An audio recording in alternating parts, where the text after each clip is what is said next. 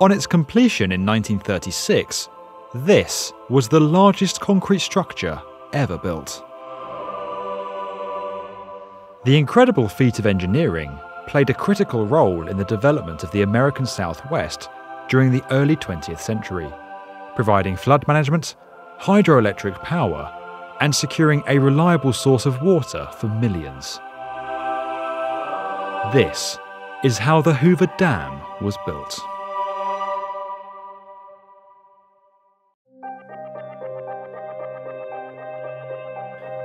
With plans around since 1900 to harness the power of the mighty Colorado River, it wasn't until 1928 that the United States Congress authorized the project and initial surveying began.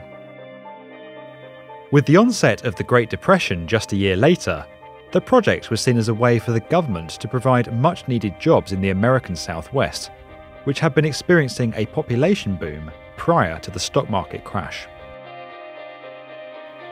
Located 26 miles southwest of Las Vegas, on the Nevada Arizona border, the project required a vast number of workers and their families to relocate, and an entire new town was established.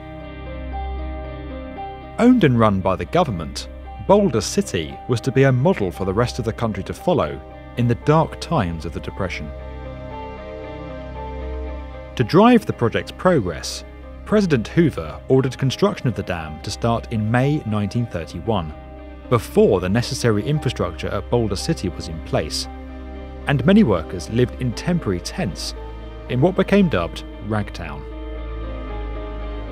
To escape the harsh living conditions, many workers began to frequent the then small outpost of Las Vegas, driving significant growth and earning it a reputation for gambling and adult entertainment. Though living conditions were poor, work began on diverting the Colorado River so that the dam could be constructed on the dry riverbed. To divert the water flow, four 56 foot, 17 metre wide diversion tunnels, two on each side of the river, were bored through the canyon using nothing more than dynamite, followed by workers using pneumatic jackhammers. Excavated rock was then dumped into the Colorado River creating a cofferdam that forced water to flow through the newly constructed tunnels.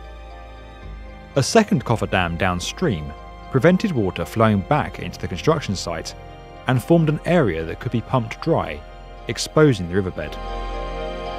The Hoover Dam employs a gravity arch design and is held in place by the weight of its concrete, together with the pressure of the water it holds, forcing it into the canyon floor and walls. Such a principle required the canyon surfaces to be smoothed as one of the first activities, to prevent leaks.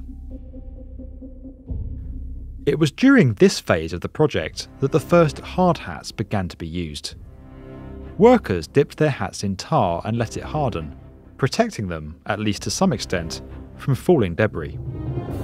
Seeing their success, the project's leaders quickly ordered thousands of these hats and mandated their use by the workers. In 1933, some 18 months ahead of schedule, the first concrete pours began on the dam.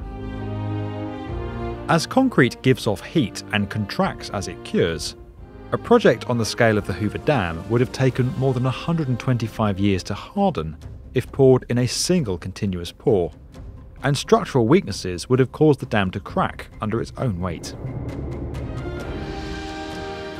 Instead, the site was divided into a series of rectangular moulds, some as large as 50 square feet or 15 square metres in size. These moulds were fitted with a series of steel pipes that carried river water through them, allowing the concrete to cool and harden much faster than if it was left to do so alone in the heat of the desert.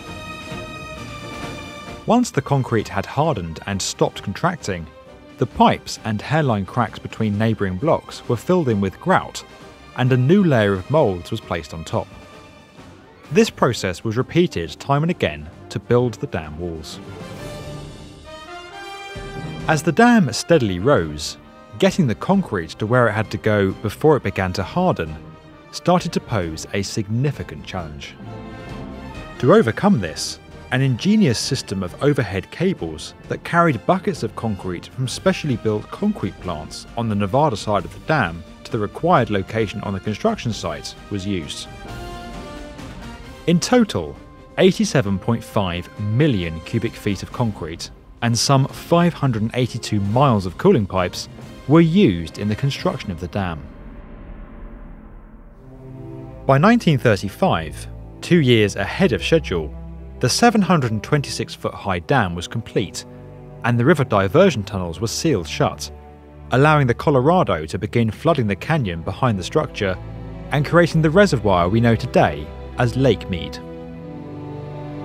Fit out of the adjacent power plant and its associated infrastructure took place in parallel with construction of the main structure and the dam began generating electricity at the end of 1936.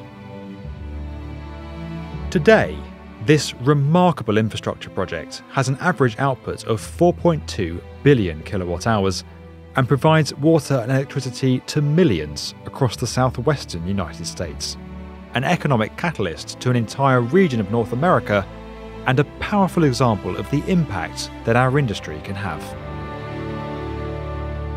If you enjoyed this video and would like to get more from the definitive video channel for construction, subscribe to the B1M.